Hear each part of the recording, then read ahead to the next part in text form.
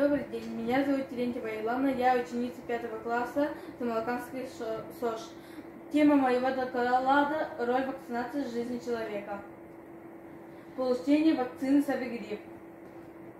Актуальность исследования. В 21 веке во многих странах мира создается сложная эпидемиологическая ситуация. Происходят вспышки многих инфекционных заболеваний, для которого не существует границ. Только создание вакцины и прививки могут остановить инфекционные заболевания. Но часть населения отказывается от вакцинации. Так надо делать прививки или нет?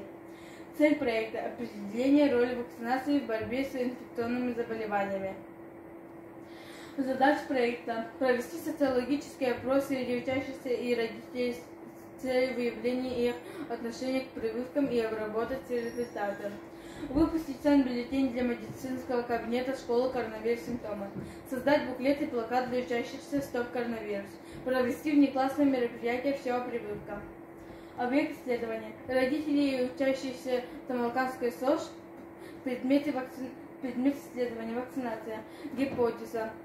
С помощью вакцинации можно избежать инфекционных заболеваний. Методы исследования. Изучение литературы, социологический опрос, анализ данных проектных. Исторические факты. Метод вакцинации является самым старым и надежным. Он известен уже около 200 лет и до сих пор верно служит человечеству. Дальше. В 1796 году появляется слово вакцинация от латинского слова «васа» – корова, так как Эдвард Дженнер делал прививку против коровьей оспы. Что такое вакцинация? Вакцинация – это самое эффективное и экономически выгодное средство защиты против инфекционных заболеваний, известное в современной медицине. Основным принципом вакцинации является то, что пациенту дается ослабленный или убитый болезнетворный агент или искусственно синтезированный белок, который идентичен белку агента, для того, чтобы стимулировать продукцию антител для борьбы с возбудителем заболевания. Иммунитет бывает приобретенный и врожденный. Прививки детям. В нашей больнице проводят обязательные прививки детям против инфекции гепатита В, паротитно-кодевая, АКДС, АДС, АДСМ, реакция МАНТУ, БЦЖ, пилеомиелита, красноте.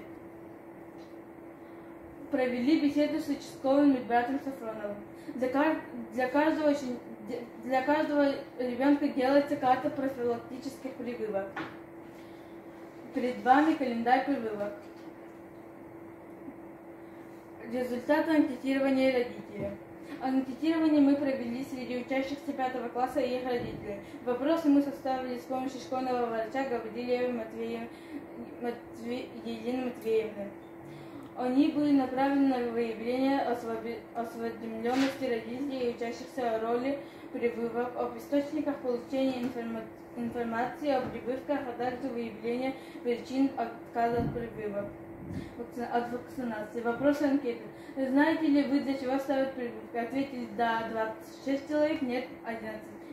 2. Где вы можете получить информацию о прививках? В больнице 24 человек, у школьного врача 3 человек, на работе 1. Контролируете ли вы график проведения прививок своему ребенку? Да, 28 человек. Бывает ли случай отказа от прививок? Да, 3 человек, нет, 25. По какой причине отказываетесь ставить ребенку прививки? Метод 2 человека. Результаты анкетирования среди учащихся пятого класса. Вопросы анкеты. Знаешь ли ты, для чего ставят прививки? Да, да, 11 человек, нет, 2. Где ты можешь получить информацию о прививках? У школьного врача 13 человек.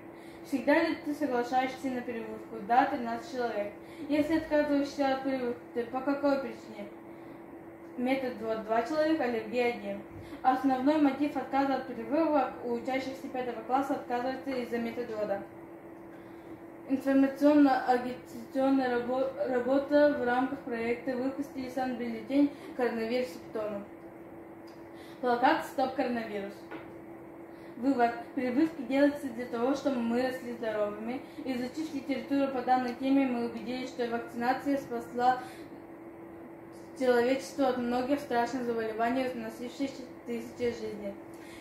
анкет родителей и учащихся в нашей, э, в нашей школе мы провели, мы узнали, что люди интересуются прививками, стараются не бездумно поставить укол, а осознанно подойти к этой процедуре. Поэтому, если из различных источников стараются найти интересующуюся их информацию, получить консультацию у специалистов, все меньше становится отказов от прививок. Важно запомнить, что вакцины – это те же лекарства, только намного более эффективные, чем обычные, лекар... чем обычные таблетки или уколы. На сегодняшний день это самое эффективное средство профилактики. Спасибо за внимание.